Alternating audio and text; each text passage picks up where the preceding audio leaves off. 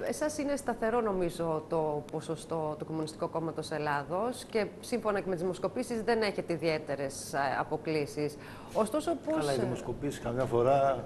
Δεν, δεν και... δίνατε ιδιαίτερη σημασία στις δημοσκοπήσεις; Εντάξει, για μας η δημοσκόπηση πραγματική είναι η επαφή μας με το λαό και ξέρουμε πολύ καλά ότι ανεξάρτητα από το ποσοστό που παίρνει κάθε φορά το κουκουέ στις εκλογές, η επαφή μας με τον κόσμο καθημερινά στους χώρους δουλειάς και όλο το προηγούμενο διάστημα και το κλίμα που υπάρχει, βλέποντας ότι όποια κυβέρνηση και αν προκύψει, τα προβλήματα του λαού θα παραμείνουν, ε, μας δείχνει ότι ο κόσμος ε, μας ακούει, ε, έχει τις δικές του αγωνίες, οι οποίες δεν σταματήσουν στις 7 Ιουλίου. Και στις 8 Ιουλίου τα προβλήματα θα είναι εδώ.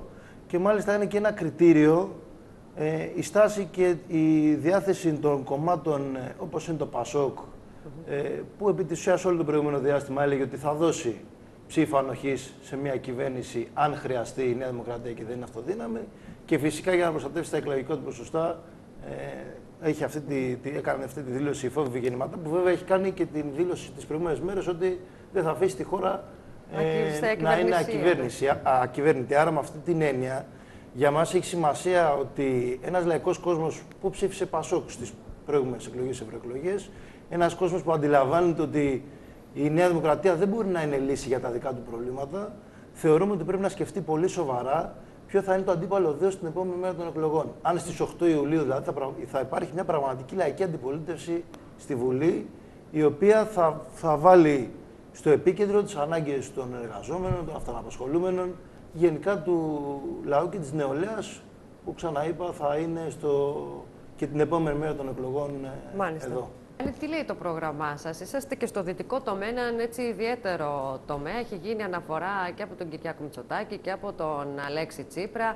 Εσείς τα βιώνετε εκεί πέρα, δηλαδή θέλει μια τόνωση η περιοχή ούτως ή άλλως; Θέλει μια τόνωση. Κοιτάξτε τώρα, οι αναφορές που γίνονται για τις εργατικές γειτονιές της Δυτικής Αθήνας δεν είναι καθόλου τυχαίες. Αλλά γίνονται οι αναφορές για το 7ήμερο δουλειάς, το οποίο ούτως ή άλλως, ειδικά για τους νέους, δεν είναι κάτι το οποίο είναι καινούριο. Ε, γίνονται αναφορές για την καταπολέμηση ανεργίας που ούτε η Νέα Δημοκρατία ούτε ο ΣΥΡΙΖΑ μπορούν να λύσουν πραγματικά αυτό το πρόβλημα. Και επί της ουσίας, και δεν λύθηκε δηλαδή και τα προηγούμενα χρόνια, και επί της ουσίας το επίκεντρο των προβλημάτων της Δυτικής Αθήνας και του λαού της Δυτικής Αθήνας δεν μπορούν να δώσουν λύση ότι το πρόγραμμα της Νέας Δημοκρατίας, ούτε το ΠΑΣΟΚ, ούτε του ΣΥΡΙΖΑ που κυβέρνησε και τα αποτελέσματα του τα βιώνουμε σήμερα. Γιατί είναι προβλήματα τα οποία θα υπάρχουν και την επόμενη μέρα των εκλογών και είναι προβλήματα τα οποία έχουν να κάνουν με τις εργασιακές συνθήκες που επικρατούν στους χώρους δουλειάς, με την ανεργία και είναι προβλήματα τα οποία υπάρχουν και θα συνεχίσουν να υπάρχουν γιατί βρίσκονται και στα, στα προγράμματα ε, όλων των υπόλοιπων κομμάτων. Δηλαδή, επί της ουσίας, στην ίδια ρότα κυβέρνησε και η Νέα Δημοκρατία πάνω στο πρόγραμμα που είχε εφαρμόσει το ΠΑΣΟΚ και η Νέα Δημοκρατία ψηφίζοντας το πρώτο μνημόνιο, το ΠΑΣΟΚ, το δεύτερο μαζί και το τρίτο όλοι το μαζί. Το δικό σας κόμμα τι θα κάνει, τι σχέδιο επεξεργάζεται για τη μείωση της ανεργίας; Κοιτάξτε, εμείς ε, καταλαβαίνετε στις 8 Ιουλίου αυτό που κρίνεται, γιατί άμα σας έλεγα ότι στις 8 Ιουλίου υπάρχει περίπτωση να υπάρχει κυβέρνηση Κουκουέ, νομίζω θα με λέγατε τρελό. Όμως αυτό που κρίνεται την επόμενη μέρα είναι κατά πόσο μπορεί ο λαός να οργανώσει τη δικιά του αντεπίθεση. Κατά πόσο ο λαός μπορεί να βάλει εμπόδιο και φρένο στα μέτρα που είναι συμφωνημένα να έρθουν. Ε, Ούτως ή άλλως στην έκθεση της Κομισιόν δεν διαφωνεί κανένας από αυτά τα, τα κόμματα. Άρα είναι πολύ κρίσιμο το να υπάρχει ισχυρή φωνή του ΚΚΕ, να δυναμώσει κι άλλο η φωνή του ΚΚΕ, ειδικά στη Δυτική Αθήνα που είναι τρίτο κόμμα, ε, και να μπορέσουμε την επόμενη μέρα των εκλογών όχι μόνο ε, να βάλουμε φρένο στα μέτρα που θα έρθουν, αλλά κυρίως να βάλουμε στο επίκεντρο τις σύγχρονες ανάγκες, όλα αυτά που χάσαμε στα χρόνια της κρίσης που κανένας δεν βγάζει ε, μίλια για όλα αυτά και μπορούν σήμερα και πραγματικά υπάρχουν οι δυνατότητες ε, ο λαός να αγωνιστεί και να έχει και μικρές νίκες όπως ε, είχαμε το προηγούμενο διάστημα με τους εργατικούς αγώνες, με συλλογικές συμβάσεις που υπογράφηκαν κτλ. Όμως, και αξίζει να το παρατηρήσουμε αυτό, ότι σήμερα το, η Νέα Δημοκρατία βγαίνει δικαιωμένη και ζητάει την ψήφο του λαού, όπως και ότι το ΠΑΣΟΚ σχολιάζει τη διακυβέρνηση του ΣΥΡΙΖΑ όλα αυτά τα χρόνια και επίσης βγαίνει δικαιωμένο, ε, έχει να κάνει με την πολύ μεγάλη ευθύνη του ΣΥΡΙΖΑ ε, που επί της ουσίας κορέδεψε ένα ακροατήριο ότι μπορεί να δώσει λύση στα προβλήματά του.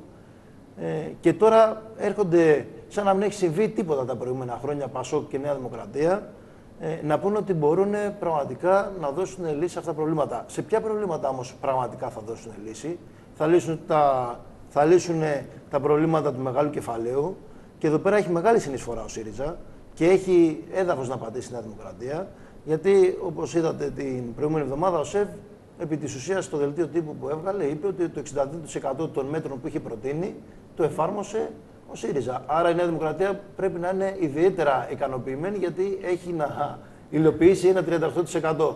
Και ταυτόχρονα μεγάλο ξενοδόχοι, οι εφοπλιστές, το μεγάλο κεφάλαιο συνολικά θα έχει μπροστά του μια περίοδο που θα πατήσει σε όλα αυτά που θεσμοθέτησαν όλα αυτά τα κόμματα τα προηγούμενα χρόνια, η εργασιακή ζούγκλα, ε, η μισθή πείνας. Έχει ιδιαίτερη σημασία να ρωτήσουμε τον κύριο Τσιλιώτη, γιατί αυτό διαχέεται τουλάχιστον όσον αφορά τα μέτρα που θα έρθουν.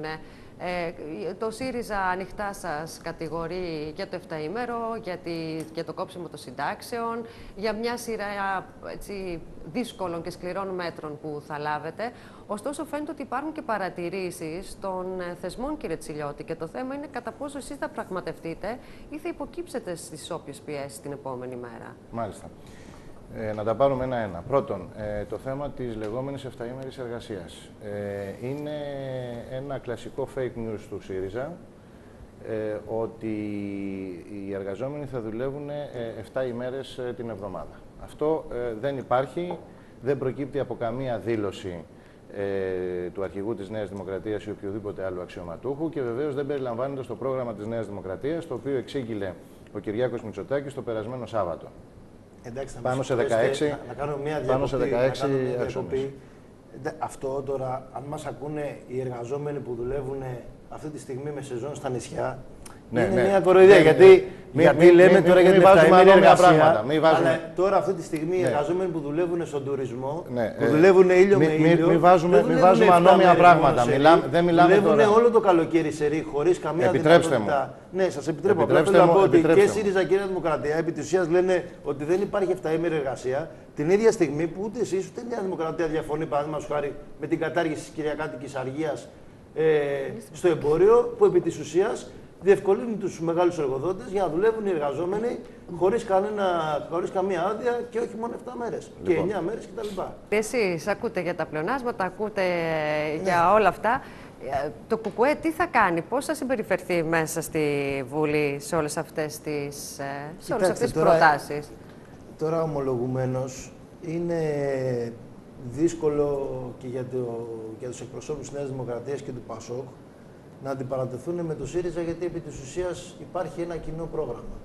Και το κοινό πρόγραμμα αυτό ανεξάρτητα από τις διαφορές στα ψηλά γράμματα που και αυτές χρειάζονται για να μπορούν να κοροϊδεύουν διαφορετικά τμήματα του λαού και των ε, εργαζόμενων είναι δεδομένο και το παραδέχονται εξάλλου και οι ίδιοι ότι οι τρεις εφαρμοστικοί νόμοι των μνημονίων που ψηφίστηκαν στις 8 Ιουλίου θα είναι εδώ και δεν το αφισβητεί κανένας εκπρόσωπος ε, και των υπόλοιπων κομμάτων και φυσικά ο ΣΥΡΙΖΑ που έφερε το, το τρίτο μνημόνιο και εφόρμησε και τα, όλα, και τα άλλα δύο κατά γράμμα.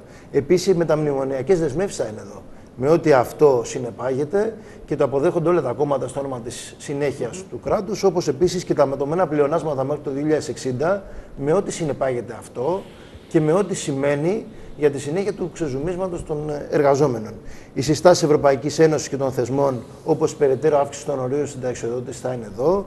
Ε, η ελαστικοποίηση των ωραρίων θα είναι εδώ, όπως και οι απαιτήσει του μεγάλου κεφαλαίου που υπόσχεται και θα θεσμοθετήσει το επόμενο διάστημα με βάση τη συμφωνία που έχουν κάνει τα, τα κόμματα αυτά ε, με τους εκπροσώπους τους για τις φορολαφρύνσεις ε, γιατί επί της ουσίας όταν μιλάμε για ελάφρυνση φόρων φυσικά δεν συζητάμε για το λαό αλλά συζητάμε ελάφρυνση φόρων για το μεγάλο κεφάλαιο, για τους μεγάλους μονοπωλιακούς ομίλους και για τη δικιά τους κερδοφορία. Πρακτικά δηλαδή τι συζητάμε, συζητάμε ότι ό,τι μας έφερε ως εδώ θα παραμείνει ίδιο και παραλλακτό. Άρα οι εργαζόμενοι, ο λαός, η νεολαία την επόμενη μέρα, στις 8 Ιούλη, πρέπει να αποτελέσει κριτήριο ότι τίποτα στη ζωή της δεν πρόκειται να αλλάξει. Τι μπορεί να αλλάξει, μπορεί να αλλάξει η φωνή ε, που αντιπολιτεύεται όλα αυτά τα χρόνια. Αντιπολιτεύθηκε και με την κυβέρνηση του Πασόκ και αργότερα με τη συγκυβέρνηση Πασόκ Νέας Δημοκρατίας και στην ε, κυβέρνηση του ΣΥΡΙΖΑ που προειδοποίησε το λαό ότι ανεξάρτητα τι λέει και πώς προσπαθεί να κοροϊδέψει για να εφαρμάξει την ψήφο,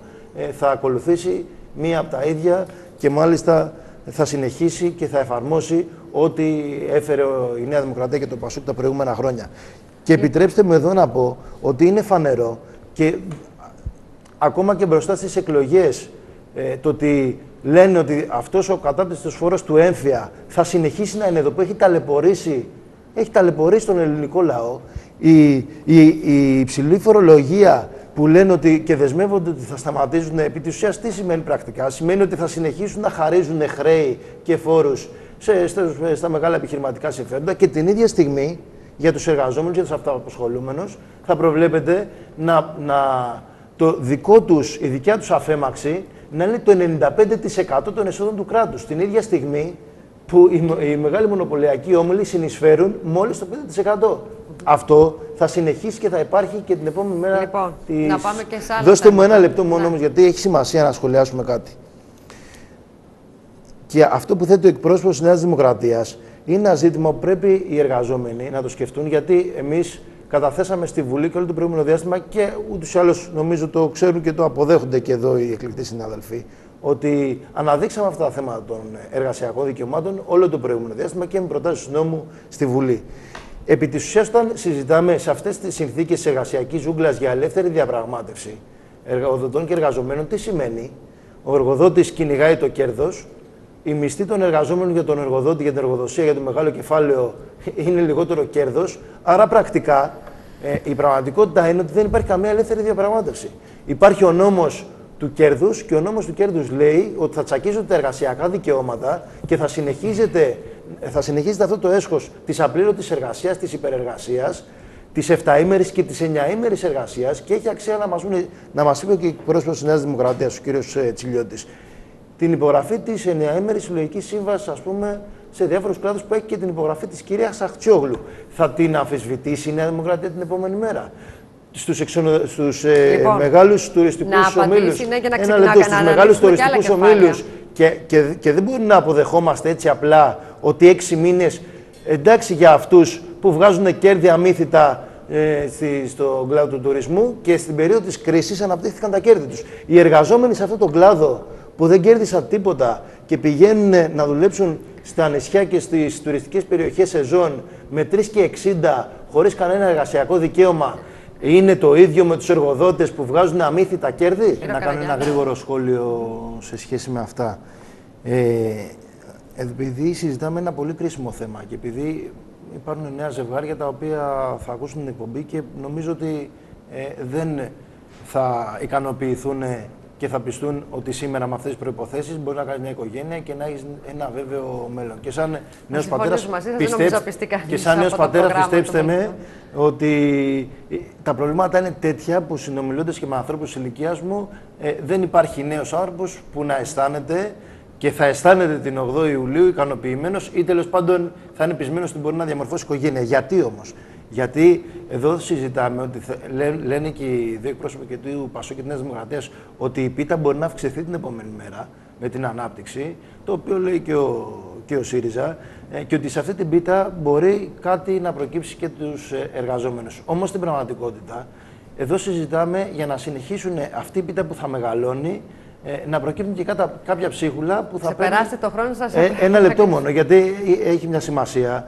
Γιατί θα προκύπτουν και κάποια ψίχουλα παίρνει ο Και αυτό που προκύπτει, προκύπτει από τα επιδόματα. Αυτό συζητάμε. Δεν συζητάμε τις πραγματικές ανάγκες σήμερα για στέγαση, για μισθούς αξιοπρεπείς, για συντάξεις. Το κόμμα πώς τοποθετείται απέναντι Κοιτάξτε, εμείς έχουμε, έχουμε καταθέσει και στην Βουλή πρόταση νόμου για τον κατώτατο μισθό. Έχουμε συζητήσει για την επαναφορά των συντάξεων ε, και μάλιστα την ε, αύξησή τους. Έχουμε συζητήσει για το πώς πρέπει να αμείβονται οι νέοι που είναι σήμερα κάτω από 25 ετών. Έχουμε συζητήσει για το πώς πρέπει οι αυταπασχολούμενοι, οι επιστήμονες να μπορούν να μένουν στη χώρα, γιατί υπάρχουν πραγματικές δυνατότητες, παραγωγικές δυνατότητες, υπάρχει το εργατικό, το επιστημονικό προσωπικό για να στηρίξουν με βάση τα κέρδη που υπάρχουν και την παραγωγή που υπάρχει, μπορεί σήμερα να γίνει πραγματικότητα ένας άλλος δρόμος ο δρόμος που θα βάζει τις πραγματικές ανάγκες στο επίκεντρο και θα, θα χτυπάει τον πραγματικό εχθρό. Μάλιστα. Ο οποίος παράγει μια κέρδη, μια, μια κουβέντα μόνο, παράγει κέρδη και αυτό είναι το κρίσιμο και για το λαό απομένουν ψίχουλα. Μάλιστα. Και όσο αυτό συνεχίζεται, και αυτό θα συνεχιστεί και την 8η Ιουλίου, χωρίς να υπάρχει δυνατό κουκουέ για να μπορεί να δώσει απάντηση και να βάλει στο επίκεντρο αυτές τις ανάγκες, Θα τόσο, τόσο θα αδικούμε τους προκύπτουν άλλους. κυβερνήσεις οι οποίες θα συνεχίσουν αυτό το δρόμο.